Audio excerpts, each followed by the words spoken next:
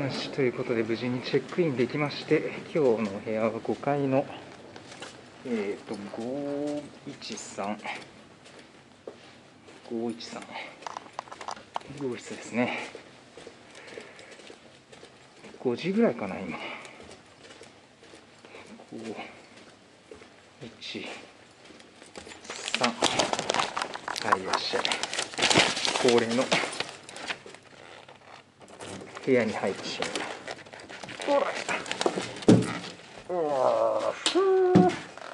まあまあまあ。まあ広くはないね。いつも通りのいつも通りの感じですよ。うん。なんもないっす。よし着いた。なんか温泉が別にあるんだって。なので温泉ゆっくり浸かるわ。で飯食いに行くわ。4時半だ。4時半だ。OK いつもの歩きコーナーですね。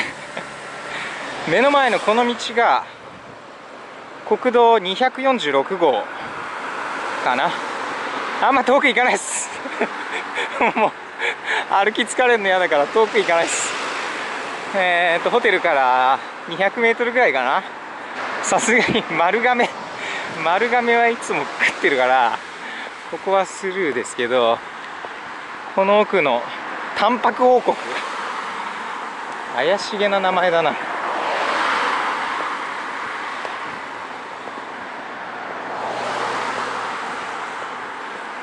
あの地の魚。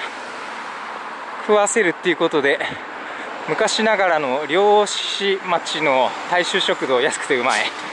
しかしお客さんいね5時ちょうどだからこれからか。漁師の台所タンパク王国。誰もいね顔はめとかなんかちょっと怪しいな。まあいいや。ここで飯食いますわ。とりあえずご飯人気ベスト10の中から味定食。こんな感じ。グルナビのクーポンでアジフライ1枚サービスじゃあいただきます。おはようございます。AJ こと愛車自慢です。今日は11月の13日の日曜日です、えー、今現在地がこの辺ですね。沼津のホテルに昨日宿泊をしまして、えー、朝を迎えてるわけなんですけど今日は箱根周辺を走りたいと思います。それで沼津から、えー、箱根へのアプローチなんですけど今日は国道1号線を使ってこのルートで行こうかなというふうに思ってます。御殿場の方からこう降りてくるルートもあると思うんですがちょっと拡大しますね。ポンと、えー、1号線を使ってこう来てで最初この辺ですかね。湯河原辺りを走りまして湯河原パークウェイとか、えー、椿ラインとか呼ばれる道ですね。を走って大観山で休憩。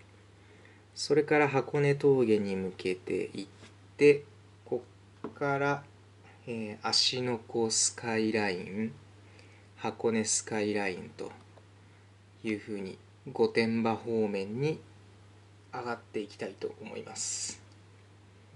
それでこの辺りにねえー、長尾峠っていう峠があるんですけどその峠の近くに長尾見晴らし亭っていう茶屋なのかな。これ情報がねちょっと少なすぎるんでやってるかやってないかもわからないんだけども電気もガスも通ってないようなところに立ってる。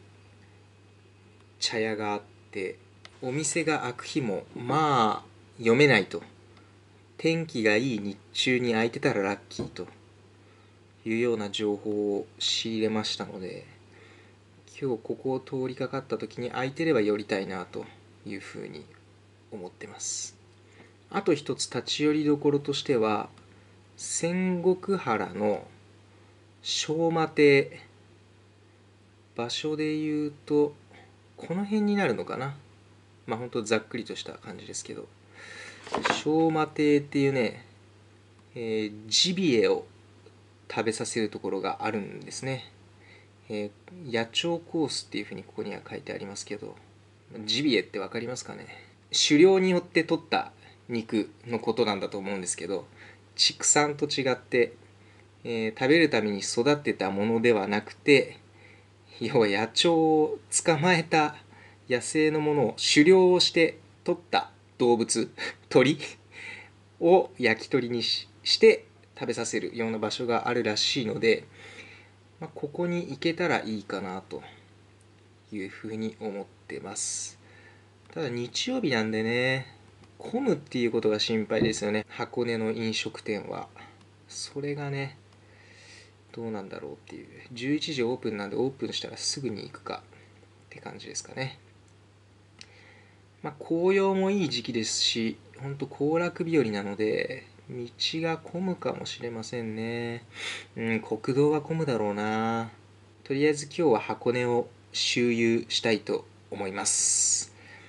気温が予報だと21度ぐらいで全くヒーテックの出番はなさそうな感じだね。そして本日の天気なんですけどこんな感じ。です。晴れです。なんかちょっとガスってる気もするけどまあいいんじゃないかな。綺麗な富士山が見れることを期待してじゃあ行ってきます。